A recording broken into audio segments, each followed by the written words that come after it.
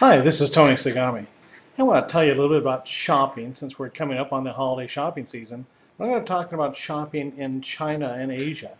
Uh, the reason I bring this up is because Walmart recently reported their third quarter results. And they reported some pretty good numbers. They reported a 9% increase in third, third quarter profits to $3.4 billion. Not bad for 90 days worth of work. More impressively, Walmart even raised its full year 2010 guidance from uh, 3.95 to $4.05 to as much as 4.08 to 4.12. So that increase in guidance was pretty impressive. On the surface, uh, 3.4 billion of quarterly profits and upwardly revised guidance sounds like a pretty positive picture, but with some very revealing factoids in that Walmart results. For example, for the sixth month in a row, Walmart reported a decline in U.S. same-store sales, six months in a row. Uh, in the last month, same-store sales uh, dropped by 1.3%. That's pretty uh, discouraging. Now, what that means, though, is that 9% profit growth came from somewhere, and it didn't come from the United States. Where it came from was outside of the U.S. For example, Brazil's same-store sales were up 12.4%. China was up 15.2%. You know, and uh, as a matter of fact, the very first uh, Sam's Club is set to open in Shanghai in December.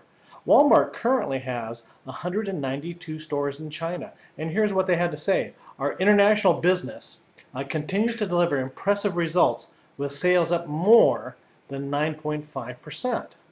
Now, Walmart has added 10 million square feet uh, of new shopping stores in the last three years, but 37% of that has come from outside of the U.S.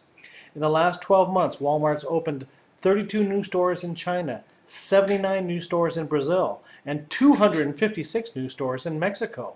You know, Walmart specifically cited Japan, China, and India as its primary growth targets going forward. Uh, and uh, here they even said this. It said, we are very interested in growth and are willing to increase market shares through M&A. What that means is that Walmart is going to buy its market share in Asia. Uh, it's already done a little bit of that. It owns Seiyu. It's a large Japanese retailer with 414 stores in Japan, but that's not enough. It wants even more. Now, who else could Walmart perhaps be looking at?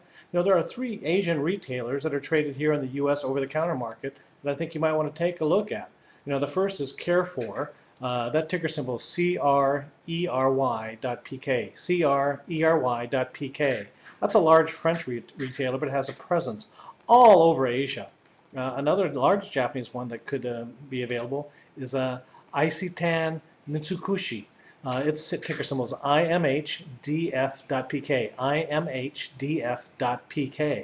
And the last one, and I think the most attractive one, is a company called Wumart. Yes, Wumart. Like Walmart, but Wumart. You know, the Chinese uh, don't have a lot of respect for U.S. copyrights. And so there's a lot of instances where the Chinese name is very similar to a well-established American counterpart.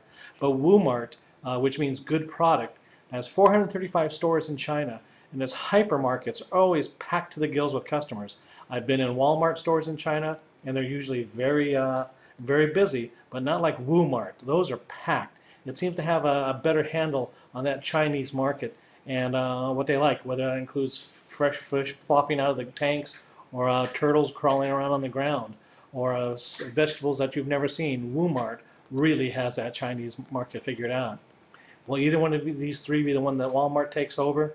Who knows for sure, but I tell you, these are three Asian wall, uh, retailers, especially Wumart, that are scheduled for uh, some very prosperous growth overseas. Until next week, this is Tony Sagami signing off.